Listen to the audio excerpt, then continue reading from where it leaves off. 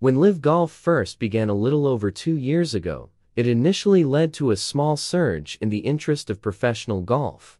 Given the rivalry with the PGA Tour and the intrigue behind the new league. But that's all worn off, and it seems like the rivalry between LIV Golf and the PGA Tour has ultimately been bad for professional golf. This week, Rory McIlroy opened up about the whole situation, pointing out that TV ratings have dropped off dramatically this year.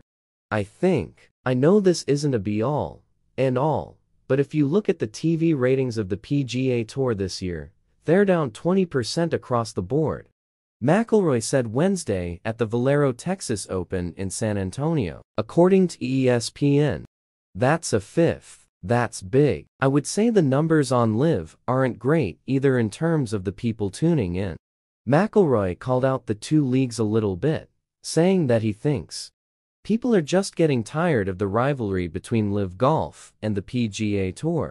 I just think with the fighting and everything that's went on over the past couple years, people are just getting really fatigued of it and it's turning people off men's professional golf, and that's not a good thing for anyone.